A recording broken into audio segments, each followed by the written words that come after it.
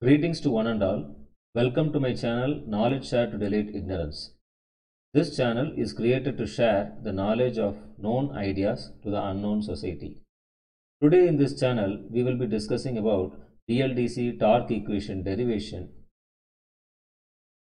Kindly subscribe to my channel and press the bell icon for future notifications in this channel. Also, if you find that this video will be useful to someone, kindly share this video. And now let's go into today's topic BLDC torque equation derivation.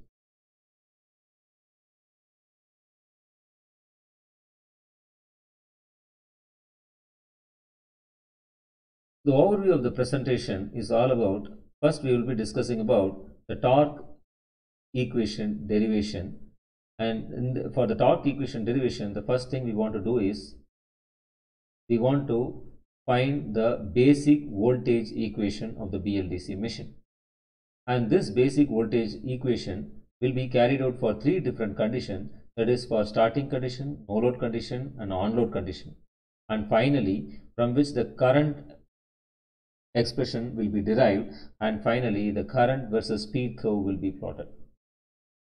So if you know the current expression then it is easy to derive the torque equation.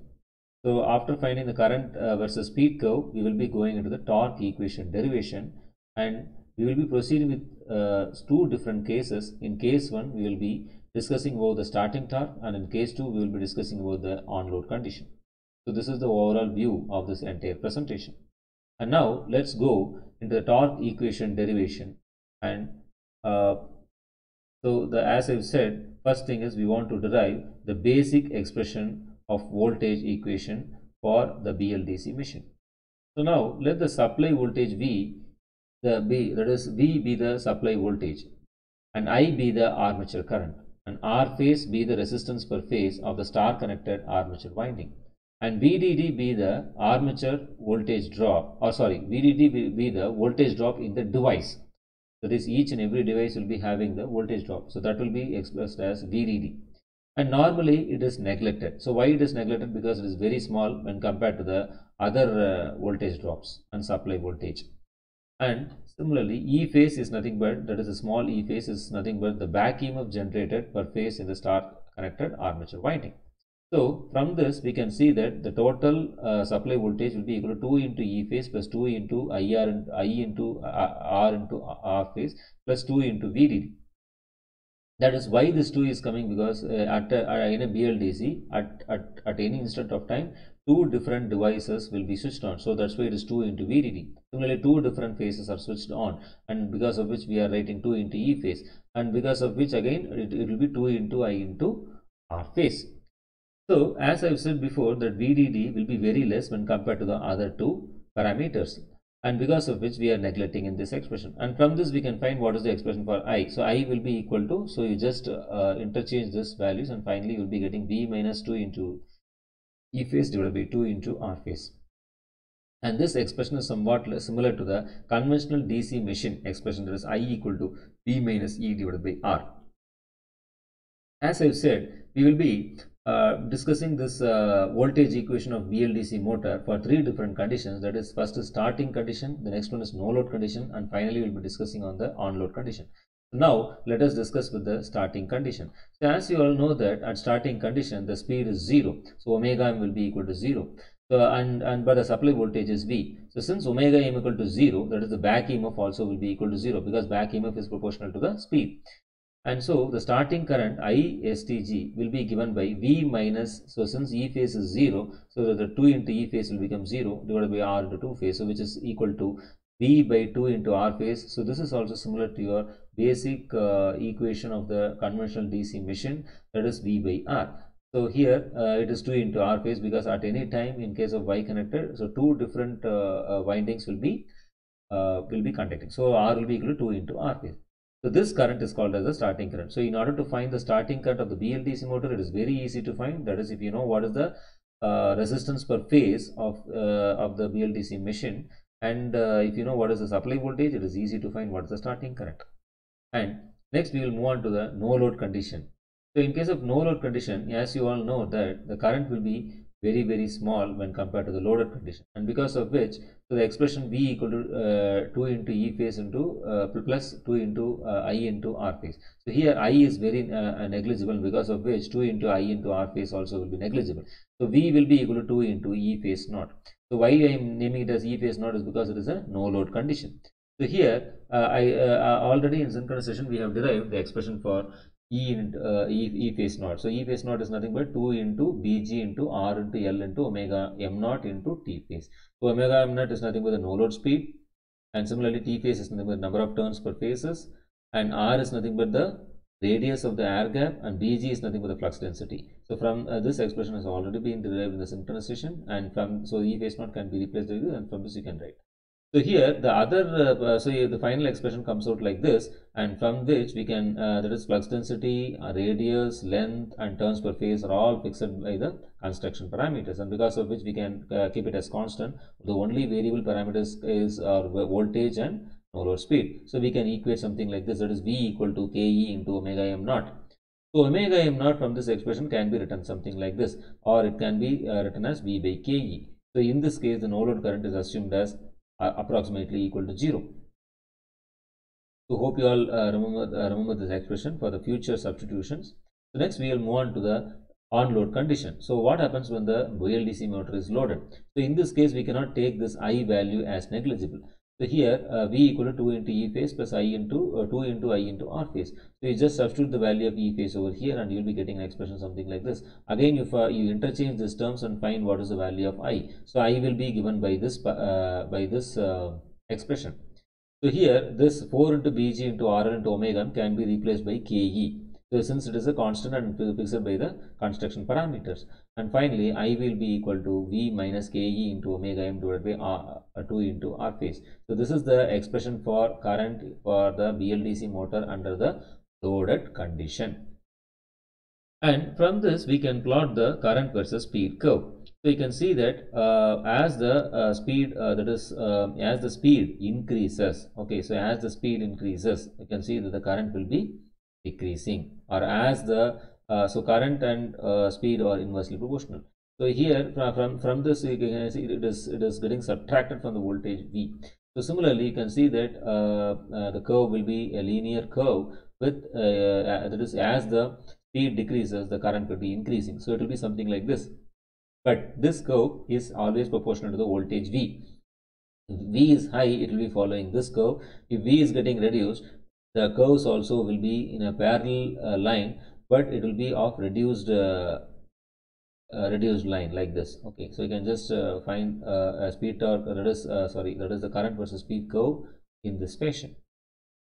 And now so after deriving the expression for current and after deriving the expression for current versus speed curve we have to proceed with the torque equation derivation which is the main thing we want to observe so since we know the value of current, it is very easy to find the torque uh, expression.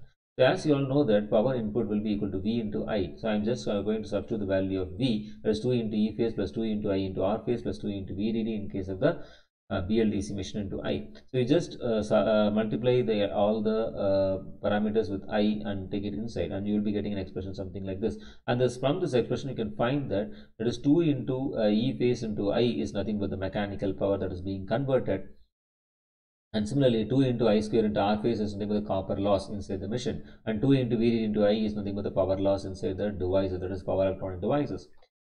And from this uh, expression 2 into E phase into I, you just substitute the value of E phase, you will be getting an expression something like this. And finally, you're just getting the expression something like this, that is 4 into BG into R into L into T phase into omega M into I. So this is the basic general expression for any machine that is uh, mechanical power will be given by 2 pi n by 60 into t. So 2 pi n by 60 is nothing but omega into omega m into t. So you got the expression. So you just uh, compare these two expressions. So this is also the mechanical power and this is also the mechanical. Just equate these two expressions and from this you can see that omega m and omega m will cancel and the torque expression will be given by t equal to 4 into bg into r into l into t phase into i. So as you all know that uh, the first uh, these parameters Bg into R into L into T phase will be uh, fixed from, from the construction point of view. It can be named as KT and you all know that KT is also equal to KE. So torque is directly proportional to current multiplied by KT times. So, uh, uh, so here as I have said we are going to uh, derive the expression for uh, both starting torque and as well uh, during on-load condition and so first let us go into discussion with the starting torque so as you all know that uh, at the starting uh, uh, at the starting of the machine you can see that omega m will be equal to 0 so i starting current already we have derived as i starting is equal to v by 2 into r phase. So you can just substitute these values. So T starting will be equal to, so uh, uh, you just substitute this I starting value in the basic expression of T. So you'll be getting at the starting torque value. So as you all know that uh, we have 4 into Bg into RL into T phase in the KT. So the starting torque value is given by uh, that is T starting will be equal to KT into V uh, divided by uh, 2 into R phase. So from this expression you can find that the starting current that is the starting torque will be proportional to the voltage supply and inversely proportional to the resistance per phase. So as you increase the voltage, you can see that the starting torque is also getting increased. So this is what the final conclusion we have to understand. And the next case is that is on load condition. So in case of on load condition, you can see that uh, T will be equal to KTI into I. This is the general expression. So you just substitute this uh, expression over here, and from this you find what. So the, the another one expression for I is nothing but V minus so uh, V uh, 2 into E phase divided by 2 into R phase. So you just rearrange this expression and finally you just substitute the value of I over here. So and you will be getting expression something like this. So this expression that is 4 into BG into RL into uh, T phase can be replaced by KE. So the expression from this uh, you can see that omega m will be equal to V minus 2A into R phase divided by KE and omega m naught you know that uh, the value of omega m naught already we have derived that is v by ke so whereas uh, the speed uh, uh, for different values of load is given by v minus 2 into i into r phase divided by ke so you can find the value of speed at any load condition and also you can find what is the value of no load speed okay when the when the drive that is your BLDC drive is not connected to any load so this is the expression and whereas uh, if it is connected to load depending on the current value the speed will be changing so from this you can see that uh, I just want to find what is the ratio of uh, omega m to omega m naught. So uh, you can just divide these two and you'll be getting an expression something like this. And finally the expression will be like this. So after uh, reducing this it will be something like this. So also uh, that is the torque uh, ratio with respect to starting torque will be given by this expression. Since torque will be equal to that is kT into I whereas torque starting torque will be equal to kT into I starting. So this is the general expression. So and finally you just substitute this expression. So I starting will be uh, you know the expression that is uh, uh, I starting will be equal to V by R phase. So this uh, V by R, V by 2 into R phase. So KT and KT will get cancelled and you'll be getting an expression something like this and so the final expression for t divided by t starting will be equal to this. So this expression and this expression is same. So you just substitute this omega m divided by omega naught will be equal to 1 minus t divided by t starting. So as you all know that t is proportional to i and t starting is proportional to i starting. So t divided by t starting will be equal to i divided by i starting. So this is the general expression and from which we are going to plot the torque versus speed uh, characteristics uh, in the future sessions Thank you very much for your patient listening. I hope uh, this uh, derivation is uh, clear to you and uh, really uh, if you like this video you just uh, give thumbs up to this video and if you if you really like this video to be shared with someone also kindly share with someone and also I request you to subscribe to the channel for and press the notification button in order to get the future notifications for whatever video which I am posting in this channel. So thank you very much for your support. Thank you all. Thank you once again.